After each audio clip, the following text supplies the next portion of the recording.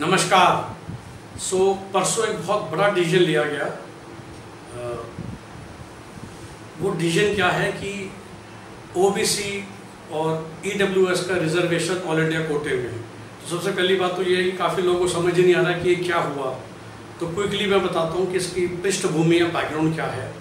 सो so, देखिए India में मैं बार बार कहता हूँ एम एक बहुत ही कोवेटेड कोर्स है बहुत ही एस्पिरेशनल कोर्स है। एकमात्र कोर्स ऐसा है जिसकी सीटें लिमिटेड है और बच्चे बहुत ज़्यादा है। बाकी सब कोर्स में तो जो मर्ज़ी कोर्स कर सकते हो ऑफ़ कोर्स अच्छे बुरे कॉलेज का फ़र्क होगा। But M B B S में exactly eighty three thousand something seats हैं जो उस मीडिया रिपोर्ट में लिखी हुई हैं। कुछ five sixty five seventy colleges हैं अगेन जो मीडिया रिपोर्ट में लिखे हुए हैं। और ब्रॉडली स्पीकिंग अराउंड बयालीस, तैतालीस हज़ार सीटें सरकारी कॉलेज में हैं, इकतालीस हज़ार सीटें प्राइवेट कॉलेज में हैं।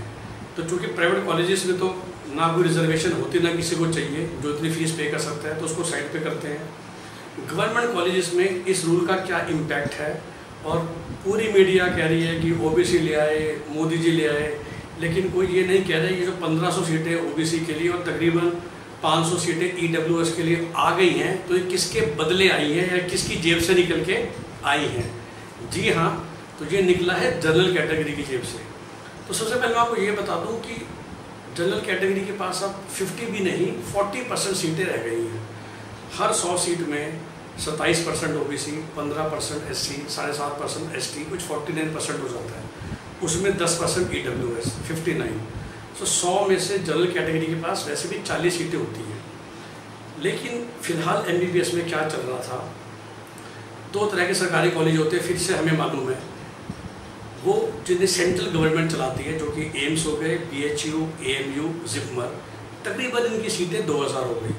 और बाकी चालीस हज़ार सीटें हैं, जो कि स्टेट लेवल के कॉलेजेस होते हैं, चाहे उसमें मौलाना साहब, लेडी हार्डिंग हो दिल्ली के, या सवाई मान सिंह जयपुर का हो, या किंग जॉर्ज मेडिकल कॉलेज, जो कस्तूरबा गांधी मेडिकल कॉलेज लखनऊ का हो, शाह मेडिकल कॉलेज, मुंबई, ये सब हम स्टेट गवर्नमेंट में गिनते हैं।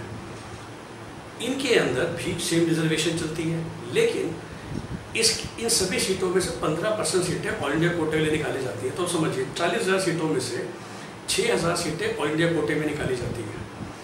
चौंतीस हज़ार सीटें बची जिनमें वो रिजर्वेशन लागू होती थी। तो उन चौंतीस हज़ार में जनरल कैटेगरी के पास 40 परसेंट के हिसाब से रफली चौदह हज़ार सीटें आती थी। लेकिन इन छः हज़ार सीटों में चूँकि कोई कोटा नहीं था जब ये आया था ना पच्चीस साल पहले तो, तो कोई रिजर्वेशन नहीं थी। तो सारी की सारी छः हज़ार सीटें सिर्फ़ मेरिट पे अवेलेबल थी। फिर 2007 में एस सी के लिए आ गया था तो 25 परसेंट सीटें कम हो गई। फिर भी साढ़े चार हज़ार सीटें सबके लिए बची थी। इन्हीं सीटों में अब OBC और ई डब्ल्यू एस कोटा आ गया है। तो ये जो साढ़े चार हज़ार सीटें जो सबके लिए थी, उनमें और अब दो हज़ार सीटें कम हो गई हैं और अब जनरल कैटेगरी के लिए फिर से छः हज़ार में भी चालीस परसेंट, चौबीस सीटें बची और दो हज़ार सीटें जनरल कैटेगरी के हिस्से में से निकाल के अब ईडब्ल्यूएस और ओबीसी को दे दी गई है। सो ओबीसी और ईडब्ल्यू की सीटें बढ़ी हैं, लेकिन उसी समय जनरल कैटेगरी की 2000 सीटें और कम हो गई हैं। सो हम एक ओवरऑल जो मैं कहता था कि जनरल कैटेगरी के बच्चों के पास चौदह हज़ार जमा ये साढ़े चार हज़ार, साढ़े अठारह हज़ार सीटें होती थी लेने के लिए। उसमें से अब दो हज़ार और कम हो गई, सोलह हज़ार पाँच सौ बची हैं। सो जनरल कैटेगरी के बच्चों को और मेहनत करनी पड़ेगी, और प्रयास करने पड़ेंगे। सीटें आपके लिए और कम हो गई हैं। तो फिर काफ़ी बच्चे जनरल कैटेगरी के रह ही जाएँगे। जो अठारह हज़ार पाँच सौ, दो हज़ार बीस तक सीटें थी, वो इस साल सोलह हज़ार पाँच सौ रह गई। तो ये सही मायने हैं इस अपडेट के, इस न्यूज़ के, इस कार्यक्रम के। अब ये कितना अच्छा है, कितना बुरा है, ये मैं आप सुनने वालों के उस पर छोड़ता हूँ। और जी के वर्ष हमेशा आपके साथ खड़ा है M B B S India M B B S हम दोनों के स्पेशलिस्ट हैं।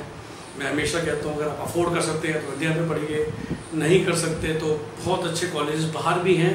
ऑफ़ कोर्स लैंग्वेज इशू रहता ही है अदर देन नेपाल और फिलीपींस तो इसलिए लोग कोशिश करते हैं इंडिया में पढ़ने की। हम इंडियन मिशन की भी पूरी गाइड करते हैं एंड टू एंड और जिसके पास बजट नहीं है कम से कम साठ लाख रुपये खर्च करने का, उनको हम राइट गाइडेंस और राइट कॉलेज अब्रॉड में भी भेजते हैं with full support so do contact your nearest branch और do contact our all India helpline number nine six four three three six two three two zero for any kind of help M B B S admission से related धन्यवाद।